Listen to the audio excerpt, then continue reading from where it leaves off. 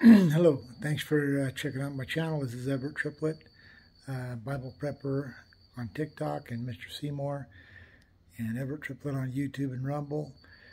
but I got a lot of important stuff to show you. The Word of God is so powerful, and God wants us to know something because He loves us, and there's trouble coming, and He's telling us about it for our benefit. So listen up and check this out.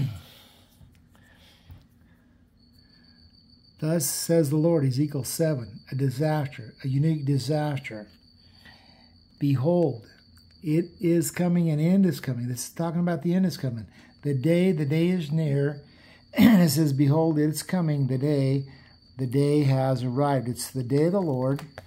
I'm going to show you where Ezekiel tells you all who survive and escape will be All who survive and escape will be in the mountains. so uh, you want to be able to head for the mountains. This says the silver and gold. The silver and gold cannot save them in the day of the Lord. The day of the Lord is what this is about. Behold the day. Then we saw the day, the day of the Lord. Now I want you to understand something. This is Ezekiel 5. Um, this, this is what the sovereign Lord says. I myself am against you. I'm going to inflict, I will inflict punishment on you. Uh, and it says here, because, which is always why, because because of the wickedness, the deep state, the pedophilia, the Epstein Island, the, the wicked cabal trying to rule the world, the premeditated mass murder. But it says right here, I'm going to do what I've never done before and will never do again. It talks about Fathers will eat their children. It's crazy. It says a third of the people will, will die and, and, and perish by famine inside the inside the city, and a third will fall by the sword outside, which is out in the country, and a third I will scatter. But the third who are scattered I later found in Zechariah 13 or Zechariah 13 8. It says two thirds in the whole land will be struck down and perish, but the one third that's left in it this third I'll refine him, bring him into the fire, refine him like silver, test him like gold. They call on my name, I answer them. They are my people. So this this is had not they've not been raptured here. But when you go back to this page where it says, never before, I'm going to do what I've never done before, never again, you will see the mentioning of the famine, the wild beast, the plague, and the sword. That's very important because watch this.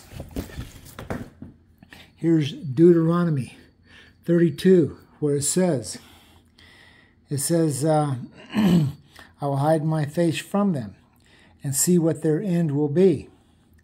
And then it mentions about the fire devours the earth, the harvest set afire the foundations of the mountains. It's all nuclear. There's going to be there's going to be no food, and here you see the famine, the plague, the wild beasts, and up here you find the sword also being mentioned. And again, it says it's a nation without sense, no discernment in them. If they were wise, they would understand this and see what the end will be, because it's talking about, again, the day of disaster is near. This is the day of the Lord. The day of the Lord is always this day of disaster that's coming. And so then you go to uh, Daniel, and it talks about all Israel's transgressed your law, refusing to obey you. Curses written in the book of Moses. What's written the curses and judgments written in the book of Moses will come upon you, bring upon us great disaster. Again, the great disaster is the unique disaster. The end is coming. And then it says again the same kind of words. What's I'm going to do what nothing's ever been done, like what's going to be done to Jerusalem. It says all this disaster. It says always the same disaster. There's only one. It's unique. You saw the word unique, just as it's written in the law of Moses. Well, where's that? I found it. It's in Deuteronomy 28. Here it says it. If you do not obey, all these curses will come upon you, be cursed. And it mentions the Lord will smite them, strike them with a wasting disease, fever, inflammations, uh, scorching heat. It's radiation sickness. It's talking about drought, blight, mildew, turn the rain to land into dust and powder, fall out dust. The Lord will cause you to be defeated before your enemies. We're being invaded by massive numbers and afflict you with boils, tumors, sores, and itch from which you cannot be cured, and blindness, So you're seeing Daniel. Daniel and Daniel and Deuteronomy 28 are t- both talking about it. And then we're going to go to uh, Matthew 24. Matthew 24 talks about the end. When is the end of the age coming? It says, the disciples came to him privately. Tell us when. They want to know when will be the end of the age. Jesus answered. It says there'll be wars, rumors of wars, nations rise against nations. These are the beginning of birth pains. And again, it says there will be time of great distress, like a great disaster, never to be equal again, like never before, never again. And if the days were not cut short, no one will survive. But for the sake of the elect, the days will be shortened. We're here, we're going through it, like I said. But it mentions the moon will not give light, which is the phase of the new moon. There's four phases to the moon. And the new moon is a timing information about what week will it happen. This is the year 2024 because you're seeing the nations rising. Nations rise against nations. NATO's rising. Then here's a when. Learn a lesson from the fig tree. Twigs are tender, you know summer's near. Even so, when you see all these things, you know that it's near, right at the door. I used to think if it's near, I've had to do a double take on these scriptures because I thought if summer got here and arrived, we'd be in the clear for another year.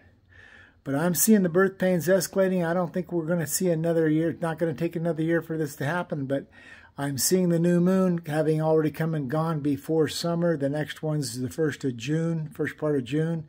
Summer's begun. So I believe it's going to happen in about three weeks. In other words, time is not on your side to get prepared, get ready for what's coming. The day of the Lord is coming because God wants you to know about this because you need to get prepared. Get ready for the day of the Lord. It's coming suddenly like a thief in the night of no light from the moon. And I'll show you the verse where it says that again. I have all these scriptures nailed them. I got them nailed. Hosea 5 7 says right here, they bore illegitimate children. Then it says, now the new moon will devour them with their land or the fields. Cities, you're going to level the city to the ground. It says, it says right here, when your judgments come, then the world people will learn righteousness.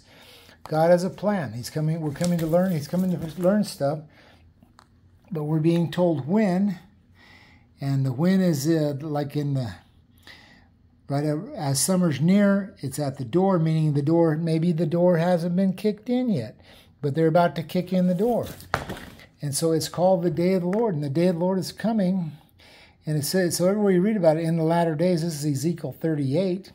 It's talking about it too. They come, Rosh is uh, Russia, Putin. It says right here, it'll come about on, on that day. Thoughts will come into your mind. You'll devise, you will devise an evil plan, and you will say, I will go against a land of unwalled villages.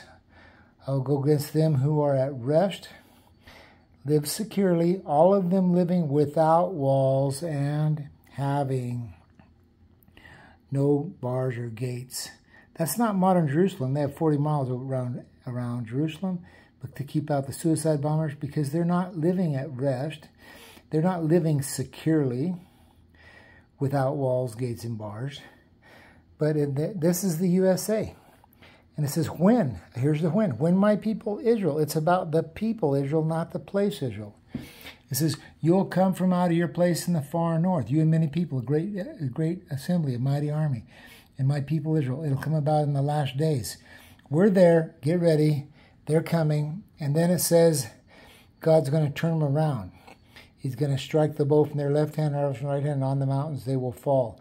They'll be given food to every kind of carrion bird, every predatory bird and beasts of the fields. You will fall in open. This is what the Lord, the, the Lord declares that they will fall. God's going to set us free because the day of the Lord is in the book of Joel. The book of Joel is all about the day of the Lord, and it's talking about how our land had been invaded.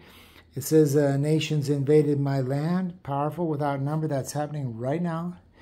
It talks about uh, farmers will be grieving over the harvest of the field. That's why it says the new moon will destroy the field. The fig trees withered. Matthew 24 says leaves on the fig tree are come out. The branches are tender, no summer's near. It's at the door. It's talking about all the trees are withered. It's talking about the day of the Lord, and the day of the Lord will come like destruction from the Almighty. This is from God. This is God's plan. And it tells you that the food's going to be cut off.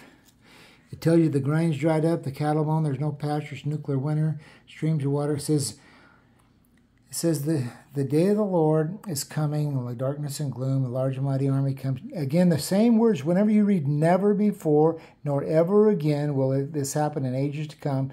It's always the same unique event. Disaster coming, the end is coming. That's because people will be busy buying and selling. It says the sun and moon are dark, and then this is what blew my mind. The Lord thunders. Thunders a huge explosion sound, like a bombing. At the head of his arm, his forces are beyond number. Mighty are those who obey his his command. The day of God is doing this. It says, Who can endure it? Then it says, This is what the Lord declares. Now return to me with all your heart, weeping, fasting, and praying. Rend your hearts, not your garments. Return to the Lord your God. He's gracious, compassionate, slow to anger. Who knows he'll have pity and leave behind the blessing. I'm understanding this is God's plan to straighten this country out, to clean up the mess because we were a nation under God, indivisible, liberty and justice for all. But we became a nation out from under God, and this is why He's coming to get us to return to Him. There's going to be a big revival. This is going to fix the problem, just like you saw in 9-11. When the towers came down, everyone blew everyone's mind. But on 9-12, every church in New York was packed, all the people praying, God help us, oh my God, help us. It's saying right here, it says, blow the trumpet, declare a holy fast, call for a sacred assembly. Because uh, you bring in the elders and the children, everyone. It's revival time. And then it says the Lord will answer. Let them say, the, the people will be praying, Lord, let them say, spare your people, O Lord. And says, uh, and then it says, the Lord will be jealous of the land. He'll take pity on his people, and he'll reply, I'm going to send you grain, new wine, enough to satisfy you fully. Never again will I make you an corner. I will drive the northern army. It's the Ezekiel 38 northern army, far from you, pushing them into a parched, barren land. Because the Lord has done great things. He says, be, don't be afraid. He says, be glad, rejoice. It says, Be glad, people of Zion, rejoice in the Lord, for he has given you a teacher of righteousness. He's going to send you abundant showers, both autumn and spring rains, as before. And it says here, You will have plenty to eat. It says, My great army that I send among you, uh, you will have plenty to eat until you're full, and then you will praise the name of the Lord. He's worked wonders for you. Never again will my people be ashamed. Never again. It says right here, it says it's the before the coming day of the Lord. Everyone who calls on the name of the Lord will be saved. And it says, among the survivors whom the Lord calls. That's the one-third who survived. Zechariah 13, 8. I showed you that. Okay, that's a lot, a lot for you to digest. Play it over and over because like a movie, you see it three or four times, fourth or fourth time, you'll see things in there you didn't see the first time you watched it. Watch it over and over. Show it to your friends. Click like and subscribe. Thanks for watching.